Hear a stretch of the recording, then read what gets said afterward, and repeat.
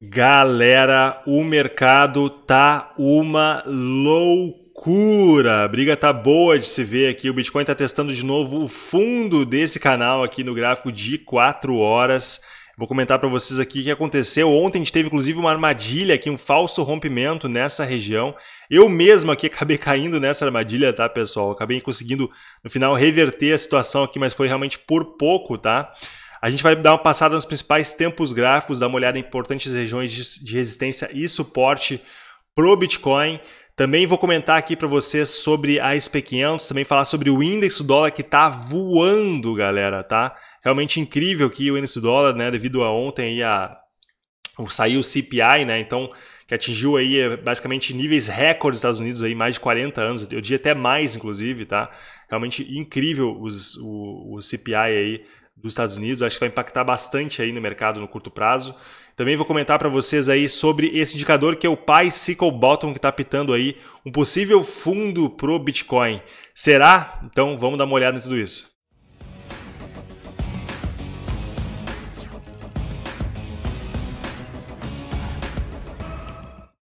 Então vamos lá, galera. Vamos dar uma olhada aqui no mercado. A briga tá séria aqui agora. Bitcoin testando essa região importantíssima de suporte. Vou comentar para vocês. Não esqueça de deixar aquele like para apoiar, muito importante. Se você não está inscrito no canal, se inscreve, ativa todas as notificações e aqui abaixo tem o link também para o grupo do Telegram e canal de alertas, tá, pessoal? Quando eu não estou postando alguma coisa aqui no YouTube, né, nenhuma análise, eu posto aqui no canal de alertas, então participe lá para você não ficar de fora. Realmente o grupo tá ficando incrível, tá? Cada vez mais, cada vez melhor aí o grupo, a gente está moderando bastante aí, acho que você vai gostar. Então, galera, vamos dar uma olhada no Bitcoin. Realmente aqui eu peço desculpas para vocês aí, a quantidade de linhas aqui, tá? Mas eu estou tentando uh, entender aqui regiões importantes de resistência e suporte para o Bitcoin. Tá? É, nesse momento, pessoal, o Bitcoin está aqui testando essa, o fundo desse canal. Tá? Inclusive aqui tentando montar um suporte nessa região aqui, ó, no gráfico de, de 4 horas, tá, não perdeu aqui esse, esses últimos fundos aqui na região 19.700, tá, galera? Extremamente importante. Ontem a gente teve essa armadilha, né, galera? Ontem é um dia que não era para estar tá nem operando, tá? Eu fui meter de operar aqui, realmente quebrei a minha, minha regra de ouro. Né? dias que tem divulgação de dados importantes aí, eu não, não gosto de operar.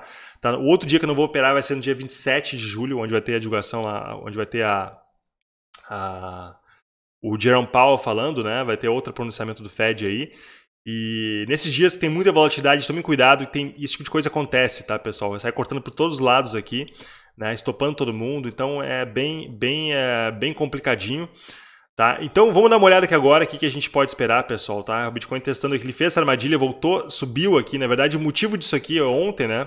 É, o mercado ficou extremamente bearish com, esse, com esse, a divulgação do CPI, né? Que atingiu aí é, níveis realmente recordes, né? 9.1 saiu. Um, vou comentar um pouquinho mais no final do vídeo para você sobre isso. E o mercado foi extremamente bearish, a gente viu aqui no sentimento, realmente o pessoal começou a shortar bastante, né? Esse indicador aqui, o long short ratio, mostrando a queda forte aqui do long short ratio, tá? Junto com, uh, junto com o open interest subindo, né, galera? Então isso aqui jo joga, dá liquidez o mercado aqui subir. É, realmente a gente viu aqui bastante liquidação aqui de, de shorts, né? O, mercado foi subindo para liquidar estopar essa galera que está shortando, né? Agora aqui nesse momento, pessoal, o Bitcoin, o, mercado foi retestar de novo aqui agora, deu uma, deu uma retraiu, está testando de novo o fundo desse canal. O mercado ficou, começou a ficar um pouco otimista de novo aqui, tá? A gente está vendo o long short ratio subindo nesse momento, com o open interest também subindo, tá, galera? Então, vamos dar uma olhada aqui. Inclusive, nesse momento, o Bitcoin está tá aqui. Nesse momento, já começou a liquidar alguns shorts aí também, executando algumas uns stops aí, né? Muita compra é, a mercado aqui nesse momento, tá? Bitcoin está na região 19.900 e é uma região importantíssima de suporte que não pode perder, tá? Então vamos voltar aqui para o gráfico, pessoal. Para mim é importante que agora realmente essa região dos 4, do 4 horas aqui, a região dos 19.700, tá? De começar a perder isso aqui, já começa a ficar um pouquinho complicado, tá, galera? Mas realmente aqui para mim, a região que eu estou extremamente de olho é essa região aqui próximo dos 19.400, tá? Se a gente perder isso aqui já é bem complicado a gente segurar nesses fundos aqui, tá, pessoal? Gente vai estar aqui rompendo esse canal para baixo, regiões importantíssimas, tá? Uh, obviamente, a gente tem que ter noção que a gente está num tempo intraday aqui, né? No diário, a região mais importante no diário que a gente tem aqui agora para segurar essa região aqui dos 19.300 dólares, tá, galera? Aqui Bitcoin, ele conseguiu manter é, um suporte aqui no diário, né? Não perdeu essa região aqui dos 19.300. Então fiquem atentos aí, tá? Ontem esse candle aqui no diário foi bem interessante, engolfou aqui toda essa, essa região, tá? Isso aqui realmente é bastante bullish, na minha opinião, né? A gente segurou a, esse suporte no diário aqui e conseguiu engolfar o candle anterior do dia anterior, tá, galera? Isso aqui é bem interessante. Tá? O Bitcoin mostrando força nesse momento aí importante, tá? Inclusive aqui agora, nesse exato momento aí, a SP500 fazendo um, um, um pivô de baixa aqui, tá? Fiquem de olho nisso, com o índice do dólar subindo forte, inclusive aí, e Bitcoin é, mostrando força. Isso é um sinal extremamente importante, na minha opinião, aí, tá? É, já seria pro motivo para o Bitcoin estar tá derrapando bastante, ele está segurando Tá? Então isso aí, para mim, é um, é um sinal aqui que mostra que o Bitcoin está forte aqui nessa região, tá, galera? Mas acompanha aí o gráfico diário, tá? Acho que é extremamente importante, importante você acompanhar isso aí, o diário 4 horas. Tá? Vamos descer para um tempo os gráficos menores aqui numa hora. Uma hora não tem muito o que falar para vocês aqui, tá? Eu acho que é, eu tô acompanhando as mesmas linhas aqui, mas está bastante confuso, tá, galera? É... Vamos, vamos. Aqui, na verdade, para mim, na minha opinião, aqui, que, que vocês têm que ficar atento, galera, que eu acho importante, é nesse pivôzinho aqui, ó, na região dos 20.300, tá? Se a gente fizer esse pivô aqui agora, né, um pivôzinho aqui assim, a coisa vai ficar interessante. E Bitcoin, para mim, nesse caso aqui, pode buscar regiões aí, lá região dos, dos 21.500 dólares, tá, galera? A gente tem, a, inclusive, alguns. Tem gap da CME na região, a gente tem. Uh, vários pontos importantes nessa região do, do, dos 21.500, inclusive CPR aqui, né, o, a, linha, a principal linha CPR mensal que está na região aqui dos 21.500 dólares também, tá? Então fiquem de olho nesse pivô aqui. Quem quiser comprar, fazer uma compra mais conservadora, eu acho que é interessante ficar de olho nesse pivô aqui, tá? Com suporte nessa, nessa, nessa linha de tendência de baixa aqui. Eu acho que antes disso aqui não dá para querer tentar buscar fundo aqui não, tá, galera? Eu acho bem complicado, tá? E para shortar aqui agora o Bitcoin, na minha opinião também aqui, só se a gente perder essas regiões aqui dos 19.600, 19 tá galera? Mas tem que ficar de olho nesse suporte aqui também, tá? A gente pode fazer um short se a gente perder essa região, uh, né? Com uh, um stop aqui um pouco mais acima, enfim, tá?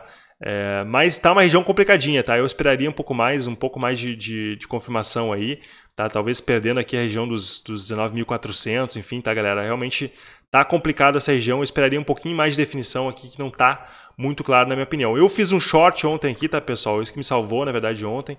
Uh, nessa região aqui dos, dos 20.300 a gente tinha alguma, algumas resistências aqui, né?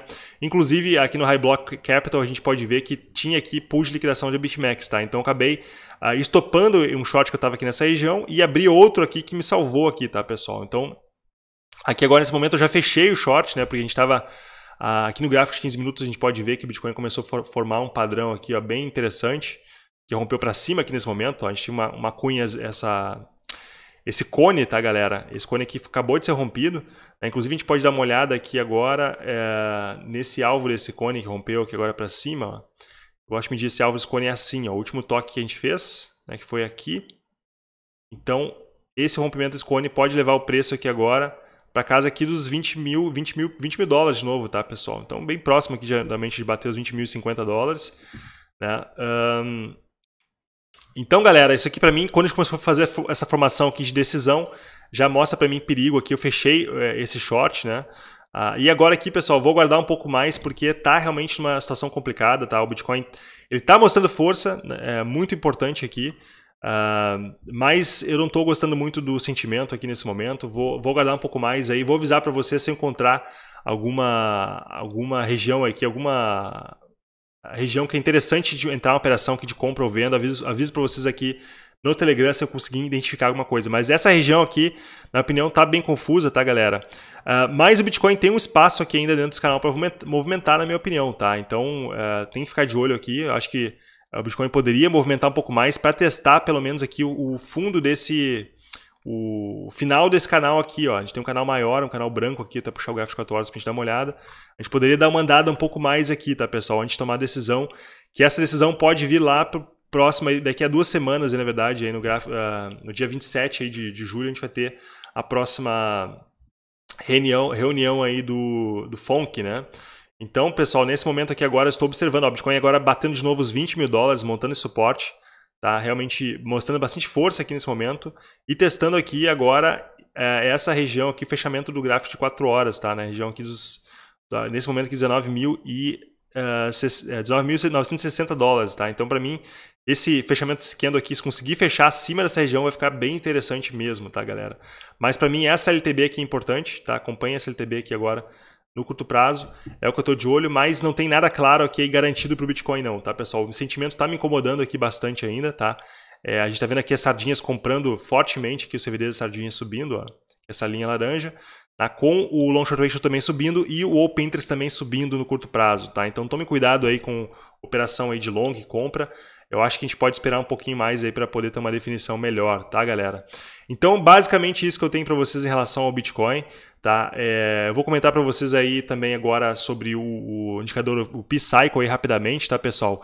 Antes de mais nada, deixe aquele like para apoiar aí, é bastante importante, tá, galera? E também não se esqueça que tem as, as corretoras em promoção aqui de bônus, tá? Então a Prime SBT está dando 7 mil dólares de bônus aqui com o cupom AndréFault7, tá? Obviamente tem que fazer um depósito aí, né? É 7% do valor do seu depósito, até 7 mil dólares você consegue de bônus aí, né? Na Prime SBT, que uma corretora muito boa aqui, tá? Que é, realmente eu uso bastante, que vou mostrar para vocês, inclusive os trades aqui é, no canal, nessa corretora também, tá? Outra corretora que usa é Bybit, é, dá 4 mil dólares de bônus, mas daí é um pouquinho mais complicado aqui para conseguir esse valor, tá, pessoal? Mas vocês podem conseguir 4 mil dólares de bônus também. E é uma alternativa também para o Pix, tá? Que o pessoal está passando problema com a, com a, Binance aí. No Brasil, uma excelente alternativa uh, ah, para vocês usarem, tá? Então os links aqui abaixo na descrição e comentário fixado. Então, galera, vamos olhar aqui é, o Peace Cycle Bottom aqui, que apitou, né, apitando fundo para o Bitcoin, tá? Esse aqui é um indicador que, que foi criado uh, baseado aqui com, com o Peace Cycle Top aqui, né? Que é esse indicador aqui, ó. Uh, que ele acertou aqui praticamente, né, eu diria, os três últimos topos para o Bitcoin, tá, galera? Eu acredito que esse último aqui foi mais né, o pessoal está acompanhando o P-Cycle uh, top aqui e realmente ele apitou aqui exatamente na região que o Bitcoin bateu os uh, 65 mil dólares. Dá até um zoom aqui, se eu consigo dar um zoom nessa região aqui. Será que eu vou conseguir? Consigo. Ó. Então, quando, quando essas, essas médias aqui do, do P-Cycle Top aqui cruzaram, elas cruzam, ó, pessoal, a gente teve um, um topo para o Bitcoin aqui nessa região, tá?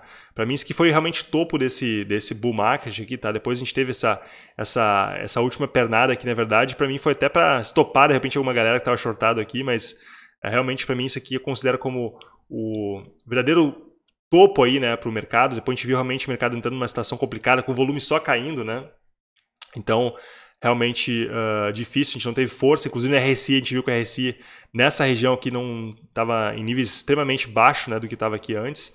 E foi criado, então, o P-Cycle Bottom baseado no, no P-Cycle Top, que acertou aqui basicamente os fundos aqui para o Bitcoin, tá, galera? Só que esse aqui é um indicador que ele é criado depois que os, os fundos já aconteceram, né? Fazendo estudo de médias, enfim, uma reversão do passado, uma engenharia reversa, tá, galera? Então, Tome cuidado aqui, tá? Acho que a gente está sim próximo do fundo para o Bitcoin. Eu acredito que isso é, é assim algo que a gente tem que ficar de olho. A gente está muito próximo aí de um, de um, de um fundo para o Bitcoin. Então, aconselho você, inclusive, se você não está exposto com o Bitcoin, começar a fazer um dollar cost average aí, tá? Acho que está numa região interessante. Uh, eu estou com compras aí até a região dos 8 mil, uh, até a região dos 19, eh, desculpa, região dos 11.800 dólares. Estou com horas de compra aí, tá? 13.900 ali até a região dos, dos, dos 11.800. Se Bitcoin for lá, eu vou estar comprando pesadamente aí, tá, pessoal? Mas quem não está exposto, eu acho que é interessante fazer um dólar cost average aí sim, porque nesse momento o Bitcoin está mostrando bastante força, na minha opinião, tá? Realmente que já está na região dos 20.060 20 dólares aqui, realmente uh, segurando forte aqui agora, tá, pessoal? Então, uh, na minha opinião, já é uma, uma, uma região para fazer dollar cost average aí, se expondo ao, ao, Bitcoin, ao Bitcoin, tá? Se você não está exposto, tá bom, galera? Mas eu, como eu já estou bastante exposto aí, né? Eu já estou uh, aqui botando ordens de compra mais abaixo aí e caso o Bitcoin subir, eu vou estar feliz. Se ele cair, eu vou estar comprando. Então, é basicamente você tem que pensar o que, que faz sentido para você aí, né? Quanto você acredita no potencial do Bitcoin aí para esse né, para soluções e problemas aí que, que a gente está vendo que estão sendo criadas pelo, pelas moedas fiduciárias, né, galera? Então, realmente incrível. Agora aqui tem que acompanhar a SP500, tá, galera? A gente está nesse pivô de baixo aqui, acho que vai ser importante ficar de olho. Uh, realmente isso aqui tá, tá complicado, tá? Isso aqui tá, deixa bearish aí, o sentimento não tá muito bom também. Tá, tá me parecendo que agora no curto prazo uh, a gente está vendo aqui só Ó, tá vendo shorts aqui sendo estopados aqui, tá, pessoal? Liquidados. Então teve aqui, agora teve um milhão de, de liquidação de shorts e mais de 150 milhões de compra a mercado aqui, tá? As sardinhas comprando a rodo aqui nesse momento, tá bom? Acreditando nesse fundo aí. Então tome cuidado no curto prazo. Uh, sobre isso. Uh, o índice do dólar não tem previsão aqui de parar de cair, tá, pessoal? Realmente incrível. Tem várias divergências aqui no RSI, não respeita nenhuma divergência, só sai disparando, tá? E realmente eu desisti de tentar aqui adivinhar né, um possível uh, topo aqui para esse o índice do dólar. Para mim, eu estou achando já que ele vai só parar aqui o índice do dólar quando atingir esse canal aqui que a gente está vendo aqui. Tem um canalzinho, ó, vou até puxar o gráfico de semanal aqui para vocês. Tá? A gente tem esse canalzinho de alta para mim, o índice dólar vai pegar o topo desse canal aqui, tá? Que poderia ser inclusive nesse topinho aqui também, tá? Nessas regiões aqui do 119. Então, fiquem de olho aí, né, sobre isso. Uh, ah, para mim aí o Fed vai continuar apertando aí aos pouquinhos o, o a, né, botando aumentando a taxa de juros, tá, galera? Só que é algo que eles vão ter que fazer com muita calma aí, tá? Porque os Estados Unidos não está numa situação muito boa, né? Estão bastante endividados ali. Uh, indo seguindo o caminho aí do Japão, tá? Eles vão cada vez se endividar mais, vão ter que imprimir mais dinheiro para pagar a dívida, galera. É uma, é uma, uma bola de neve que é bem difícil de parar, tá? Então, uh, por isso eu aconselho você estude o Bitcoin, pelo amor de Deus, estude o Bitcoin aí, tá? Entenda os problemas das moedas fiduciárias, bancos centrais. Uh, se você tiver dúvidas aí, vai lá no grupo Telegram, pergunta pra gente, tem referências para você estudar sobre isso. Eu vou fazer um vídeo também sobre altcoins aí, tá? para vocês tomarem cuidados, tá, pessoal? Para mim, o que importa nesse mercado é o Bitcoin. Acho que vou fazer mais vídeos fortalecendo isso aí. A gente está realmente agora no momento que, que Bitcoin é, ele foi criado para exatamente para esses problemas que estão acontecendo nesse momento, tá, pessoal? Em 2008 a gente teve aí também um resgate aos bancos e muito em breve a gente vai ter outro resgate aos bancos acontecendo aí. Vocês podem é, ter certeza disso, tá? E, e para mim, Bitcoin veio para resolver esse problema, tá? Então você tem que estudar, entender os fundamentos do Bitcoin, tenho certeza que você vai realmente ficar uh, chocado, né, realmente maravilhado o, o problema que o Bitcoin vem aí resolver, tá, pessoal? E quanto mais tempo você demorar para entender isso, mais caro você vai comprar o Bitcoin lá na frente, tá? Então, faça o dever de casa aí, estude, aproveite, está tá perto do final de semana aí, aconselho você correr atrás disso antes que seja tarde, tá? Então, pessoal, só para fechar aqui uh, o vídeo, fazer algumas considerações finais aqui. Então, a gente viu até uns posts no Twitter aqui falando, né, sobre uh, aqui eu achei nesse esse, esse post aqui do da Bitcoin Magazine, que falando aqui as principais eh, né, a, a taxas de inflação aqui né, globais. Então aqui a gente tem a Holanda, tem os Estados Unidos e vai aqui até a Venezuela, né, a Turquia, realmente níveis estratosféricos, tá, pessoal? Uh, realmente é totalmente é algo assim totalmente uh, loucura aqui na minha opinião, tá? E aqui engraçado também achei esse Twitter falando aqui que o CPI subiu para 9.1%, né? E só existem 9,1% do total de 21 milhões de bitcoins para serem ainda minerados, tá, pessoal? Então, enquanto o dólar ele é uma, uma moeda que não tem limite, tá, de, de supply aí, vai só crescer a quantidade de dólar existente no, no, no mundo, né? O Bitcoin não, galera, vai só diminuindo, tá? Realmente só faltam 9,1% dos Bitcoins para serem minerados, né? Então aqui, até algumas pessoas comentam, falam, sabe, mas Bitcoin é só dinheiro que é inventado, né? Made, made up money, né? E aqui os bancos, né? Simplesmente, pessoal, isso aqui, os bancos imprimindo dinheiro, tá? Eles, eles imprimem dinheiro. Então, entenda aí o Bitcoin, entenda que o Bitcoin não é simplesmente uma moeda virtualzinha aí de nerd, não, tá, pessoal? Entenda os fundamentos, é muito importante para você não acabar pagando mais caro para o Bitcoin depois. Tá? A gente está realmente no fundo interessante aí já. Uh, é interessante se expondo um pouquinho, aos pouquinhos, tá, galera? Com responsabilidade. Então, qualquer novidade, aviso vocês aí pelo Telegram. Participem, links aqui abaixo e a gente se vê aí muito em breve. Então, um abraço, galera. Valeu! Ah, aqui os tutoriais importantes para vocês também uh, usarem aqui, uh, aprender a usar a PrimeSBT também a, o, a Bybit, tá bom? Então, link aqui para você dar uma olhadinha como funciona. Então, um abraço.